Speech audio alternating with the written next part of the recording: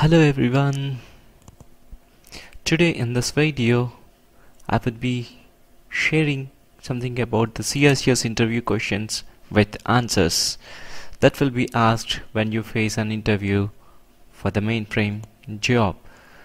The following is a small list of CICS interview questions with answers.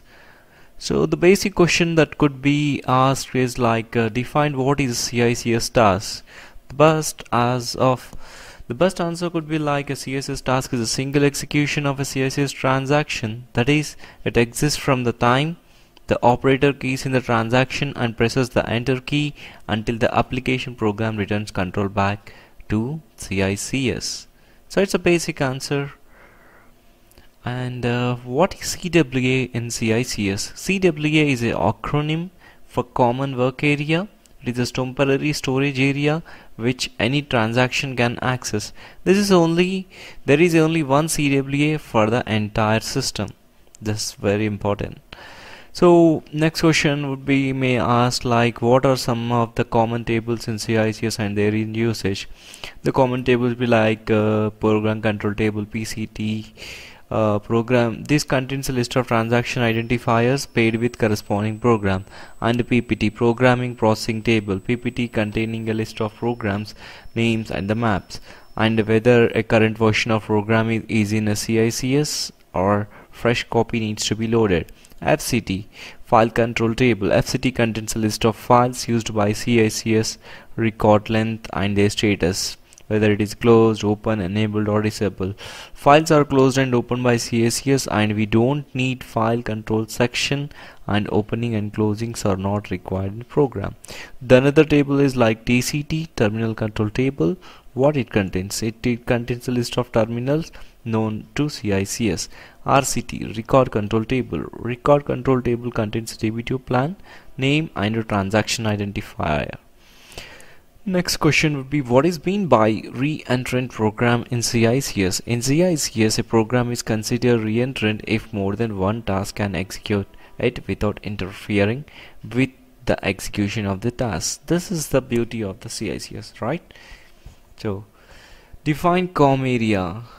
COM area or a communication area is a temporary storage area which is used to pass data from between sorry between different programs loaded by transaction and between different transaction at a given terminal. What is mean by EIB execution and execute interface block. EIB is the acronym used for execute interface block. Each task has an EIB and it exists for the duration of the task. The EIB is same for all the programs that are part of the task the fields from EIB can be easily accessed from the COBOL program in read mode. The CICS translator generates the EIB block in the linkage area of the program. So the next question would be like what is CEMT? So CEMT master terminal transaction is a similar transaction ID for inquiring the status or changing the status of sources resources. What are this what are some of the common CICS services programs terminal control. That's one. And what is an MDT modified data tag? And it is used for? And what it is used for? Each field on the screen has a last bit of special purpose and it is known as modified data tag. The bit MDT signifies if the field has been changed or not. What is trans ID trans ID trans stands for transaction identifier. It is a four character code which is used to invoke a CICS task. So friends these are the few important questions that may be asked when you are facing an CICS interview interview question. Thank you for watching this video.